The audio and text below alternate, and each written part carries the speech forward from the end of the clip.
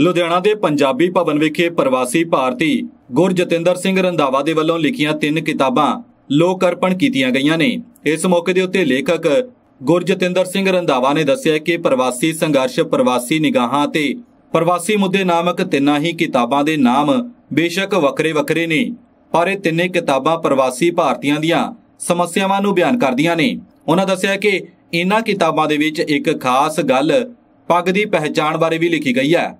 ਇਸ ਮੌਕੇ ਦੇ ਉੱਤੇ Sarbat da Bhala charitable trust management trustee doctor SP Oberoi ਅਤੇ ਨਗਰ ਨਿਗਮ ਲੁਧਿਆਣਾ ਦੇ ਮੇਅਰ ਬਲਕਾਰ ਸਿੰਘ ਸੰਧੂ ਵੀ ਮੁੱਖ ਤੌਰ ਦੇ ਉੱਤੇ ਪੁੱਜੇ। ਮੇਰਾ ਨਾਮ ਗੁਰਜਤਿੰਦਰ ਸਿੰਘ ਰੰਧਾਵਾ ਹੈ। ਮੈਂ ਅਮਰੀਕਾ ਤੋਂ ਹਾਂ, ਕੈਲੀਫੋਰਨੀਆ ਤੋਂ। ਅੱਜ ਤਿੰਨ ਕਿਤਾਬਾਂ ਮੇਰੀਆਂ ਰਿਲੀਜ਼ ਹੋਈਆਂ ਹੋਰ। ਜਿਹਦੇ ਵਿੱਚ ਪਹਿਲੀ ਕਿਤਾਬ ਆ ਪ੍ਰਵਾਸੀ ਮੁੱਦੇ, ਦੂਜੀ ਕਿਤਾਬ ਆ ਪ੍ਰਵਾਸੀ ਸੰਘਰਸ਼, ਤੀਜੀ ਕਿਤਾਬ ਆ ਪ੍ਰਵਾਸੀ ਨਿਗਾਹਾਂ। ਨਾ ਤਾਂ ਵੱਖਰੇ ਵੱਖਰੇ, ਪਰ ਇਹਦੇ ਵਿੱਚ ਜਿਹੜਾ ਮੈਂ ਮੈਟਰ ਲਿਖਿਆ, ਉਹ ਸਾਰਾ ਹੀ ਪ੍ਰਵਾਸੀਆਂ ਬਾਰੇ ਆ, ਜੋ ਉੱਥੇ ਪ੍ਰਵਾਸੀ ਸਾਡੇ ਜੀਵਨ ਬਤੀਤ ਕਰ ਰਹੇ ਆ, ਉਹਨਾਂ ਬਾਰੇ ਮੇਰੇ ਜਿਹੜੇ ਵਿਚਾਰ ਆ, ਉਹ ਆ। ਉੱਥੇ ਸਾਡੀ ਇਸ ਵੇਲੇ ਸਭ ਤੋਂ ਵੱਡੀ ਜਿਹੜੀ ਪ੍ਰੋਬਲਮ ਆ ਰਹੀ ਆ, ਪੱਗ ਦੀ ਆਇਡੈਂਟੀਟੀ ਆ ਰਹੀ ਆ। ਉਹਦੇ ਬਾਰੇ ਮੈਂ ਬਹੁਤ ਸਾਰੇ ਲੇਖ ਜਿਹੜੇ ਆ, ਇਸ ਕਿਤਾਬ ਵਿੱਚ ਲਿਖੇ ਆ। ਉੱਥੋਂ ਦੀ ਸਥਾਨਕ ਜਿਹੜੀ ਰਾਜਨੀਤੀ ਆ ਜਾਂ ਸਾਡੇ ਜਿਹੜੇ ਅੱਜ ਕੱਲ ਕਹਿ ਲਓ ਕਿ ਜਿਹੜੇ ਲੀ- ਆਪਣੇ ਸਿੱਖ ਜਾਂ ਇੰਡੀਅਨ ਆ ਜਾਂ ਪੰਜਾਬੀ ਆ, ਉਹ ਉੱਥੇ ਜਾ ਕੇ ਜਿਹੜੇ ਪੋਲਿਟਿਕਸ ਚ ਪੈਂਦੇ ਆ, ਉਹਨਾਂ ਬਾਰੇ ਮੈਂ ਕਾਫੀ ਉਹਨਾਂ ਨੂੰ ਇਨਕਰਜ ਵੀ ਕਰਦਾ ਤੇ ਉਹਨਾਂ ਬਾਰੇ ਵੀ ਲਿਖਦਾ। ਤੇ ਬਹੁਤ ਸਾਰੇ ਹੋਰ ਅਜਿਹੇ ਮੁੱਦੇ ਆ, ਸਾਡੀਆਂ ਜਿਵੇਂ ਮੁਸ਼ਕਲਾਂ ਉੱਥੇ ਆਉਂਦੀਆਂ ਉਹ ਵੀ ਉਹਦੇ ਬਾਰੇ ਵੀ ਮੈਂ ਹਮੇਸ਼ਾ ਡਿਸਕਸ ਕਰਦਾ। ਤੇ ਇਹ ਕਿਤਾਬਾਂ ਮੈਂ ਸਾਰੀਆਂ ਕਰਕੇ ਤੇ 3 ਸਾਲ ਮੈਨੂੰ ਲੱਗੇ ਆ, ਤਿੰਨਾਂ ਕਿਤਾਬਾਂ ਨੂੰ ਲਿਖਣ ਨੂੰ।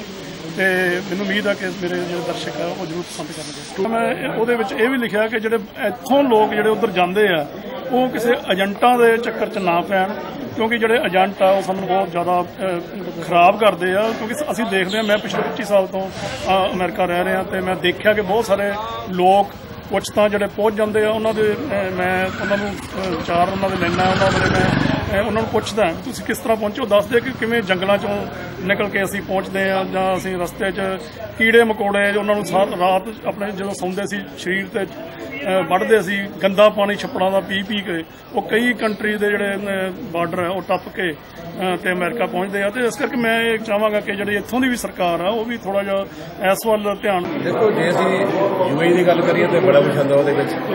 ਜਦੋਂ ਕਿ ਅਵਸਥਾ ਮੇਰੇ ਕੋਲ ਯੂਏਈ ਦੇ ਆਏ, ਇੱਕ ਮਹੀਨਾ ਮੇਰੇ ਕੋਲ ਸਟੇ ਕੀਤਾ ਇਹਨਾਂ ਦੁਬਈ ਵਿੱਚ ਉੱਥੇ ਵੀ ਜਿਹੜੇ ਇਹੀ ਮੁੱਦੇ ਜਿਹੜੇ ਸੀ ਸਾਹਮਣੇ ਲਿਆਂਦੇ ਗਏ ਨੇ।